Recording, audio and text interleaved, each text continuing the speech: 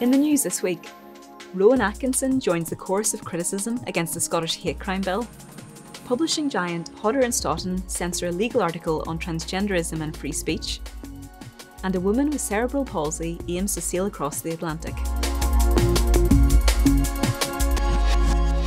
Hello.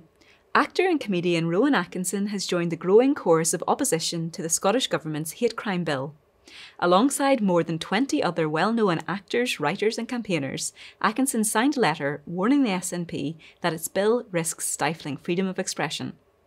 The government is proposing to criminalise abusive words or behaviour that is likely to stir up hatred. But the letter points out this could have unintended consequences. As currently worded, the bill could frustrate rational debate and discussion, which has a fundamental role in society, including in artistic endeavour. The right to critique ideas, philosophical, religious, and other, must be protected to allow an artistic and democratic society to flourish.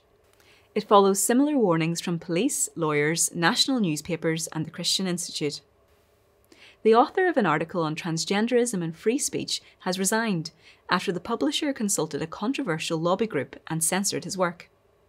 Ian Yule had written a piece for the A Level Law Review magazine, summarising the highly public Harry Miller court case. In February, a judge ruled that police unlawfully interfered with Miller's free speech when they questioned him for sending tweets alleged to be transphobic. But Hodder Education decided the article could be seen as offensive and sent it for review by Mermaids, a group which promotes radical gender ideology. It asked them to suggest examples we can use to counteract the tone and opinions in the piece, and for amendments to anything you feel is untrue, unfair, and or offensive. After being told to accept all of the changes, Yule resigned. In the process of reviewing my article, Mermaids effectively destroyed it. The Home Secretary has asked for an investigation into increased cocaine use by young people. Writing to the Advisory Council on the Misuse of Drugs, Priti Patel said tackling drugs is a top priority. She asked them to consider why do some young people start using powder cocaine, and why do some of those continue to use it into adulthood? She then went on to ask how the government could use this insight to prevent young people using powder cocaine for the first time and divert them from ongoing use. And finally, a woman born with cerebral palsy is preparing to test her limits by sailing across the Atlantic Ocean. Natasha Lambert, whose condition affects her movement and ability to communicate, uses a unique system to allow her to skipper a yacht. By blowing into a tube, Natasha is able to turn to port, while inhaling turns the boat starboard.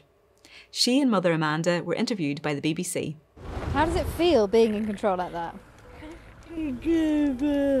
Superb. Yeah, you really like to have the control, don't you? It's an amazing feeling for you. And that's that's some sort of something that control-wise, Tasha doesn't always have in the rest of her life. So to be in control of something like that is fantastic, isn't it? How are you feeling about that big trip ahead of you? So excited. Well, that's all for this week. For regular updates and information on all of our stories, plus much more, visit our website at christian.org.uk. Until next time, goodbye.